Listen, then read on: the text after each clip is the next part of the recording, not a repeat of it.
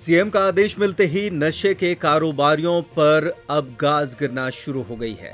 ज़िले भर में छापामार कार्रवाइयाँ शुरू हुई हैं।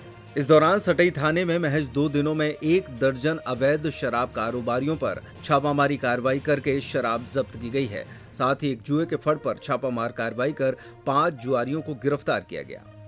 सटई थाना प्रभारी टीआई जगतपाल सिंह ने बताया कि 8 अक्टूबर से 10 अक्टूबर तक थाना अंतर्गत छापर, पड़रिया, नेगुआ ग्राम सहित सटई में भी छापामार कार्रवाई की गई, जिसके अंतर्गत कुल अवैध कच्ची महुआ की शराब 29 लीटर और 24 क्वार्टर शराब दोनों मिलाकर 70 लीटर अवैध शराब पकड़ी गई, जिसकी कीमत लगभग तेईस हज़ार आठ सौ रूपए है। तलैया के पास एक मकान में जुए के फड़ पर छापामार की कार्रवाई की गई, जिसमें पाँच जुआरियों को पकड़ा गया और उनके पास से सात हज़ार एक सौ तीस रूपए बरामद किए गए। इसी के साथ थाना अंतर्गत ग्राम अमरोनिया, खुपिया, सलैया और रेकवार ढाबा पर भी छापामार कार्रवाई की गई।